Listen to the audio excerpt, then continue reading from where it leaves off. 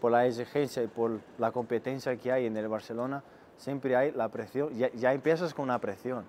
Y además, pues esta temporada, ¿no? con, con todos los cambios, sabemos que, que, claro, que a lo mejor hay un tiempo de adaptación del nuevo cuerpo técnico, de los futbolistas nuevos que llegan, pero a lo mejor a veces el fútbol no te da, ¿no?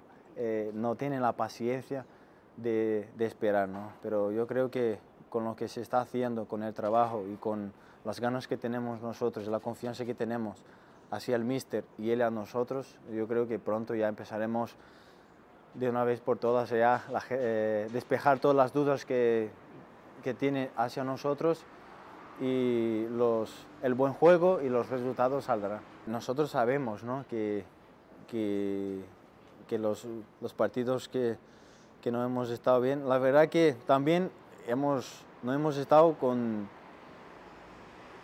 con las mismas, a lo mejor chispas sí, pero con la misma suerte de cara a la portería. Que es que en casa contra el Celta, las oportunidades que tuvimos y los juegos que hicimos, la verdad que a veces el fútbol eh, es así, ¿no? No basta solamente pues, hacer un, un, gran partido, a veces hay partidos que, no, que acaban no encajando goles por, por cosas que, que pasan en el fútbol. En el deporte también es así, ¿no? En general.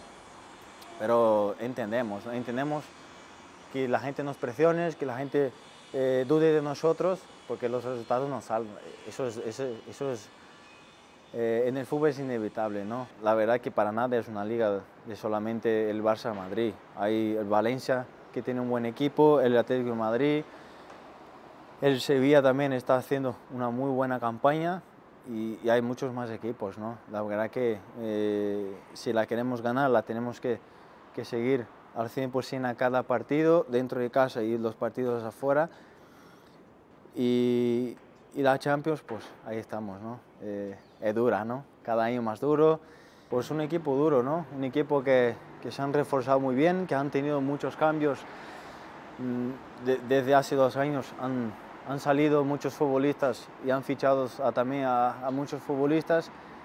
Y claro, y ahora se ve que, que el equipo está, está muy bien formado. Yo creo que se están pues a, a, cada día conociendo mucho más y claro, y futbolistas jóvenes con ganas y yo creo que con el buen trabajo seguramente de su entrenador es un equipo que, que seguramente estará peleando por la liga y, y para nosotros un, un, partido muy duro como, siempre ha sido, ¿no?